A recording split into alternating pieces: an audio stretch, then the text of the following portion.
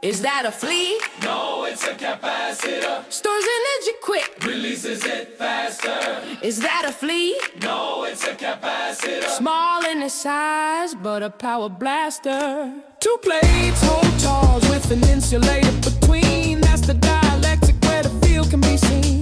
Not like a battery, no chemicals inside. It's an electric field with the charges on the sides. Capacitor quick,